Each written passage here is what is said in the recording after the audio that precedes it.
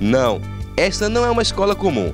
O que esses jovens e adolescentes aprendem aqui, nesse templo da Assembleia de Deus, no bairro Marco, em Belém, é uma lição para a vida toda.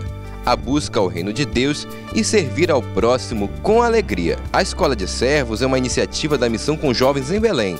Criada em 2016, a ideia é que a estação prepare pessoas que falem do amor de Deus a quem precisa.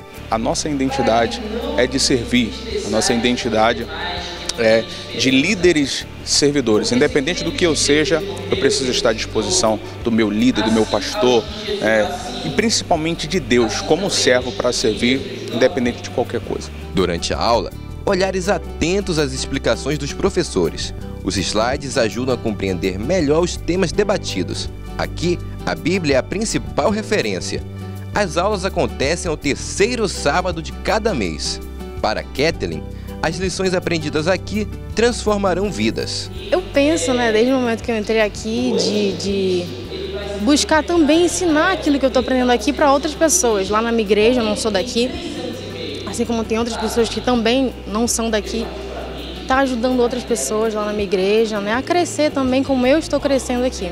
Parte dos estudos realizados pelo grupo serão materializados na próxima lição da Escola Dominical para Adolescentes. A gente vai tentar seguir um roteiro e esse roteiro seria a revista, com diversos temas: o servo e a oração, o servo uh, e a palavra, é, uma liderança servidora. Então, são temas assim que vai estar uh, abrangendo na revista.